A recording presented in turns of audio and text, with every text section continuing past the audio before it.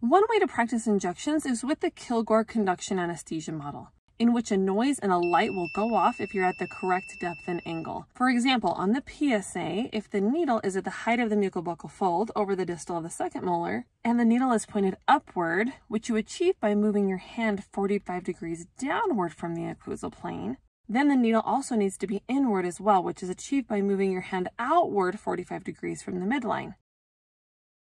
As you then advance the needle backwards, the sensor will be activated at the maximum depth and angle. This model also has sensors on the nasopalatine, right and left palatals, ASAs, mentals, and IAs. Even if the area doesn't have a sensor, you can still practice all of the injections, such as the long buccal with the needle parallel to the occlusal plane, the MSAs over that second premolar, and locals deposited at the apex of the tooth.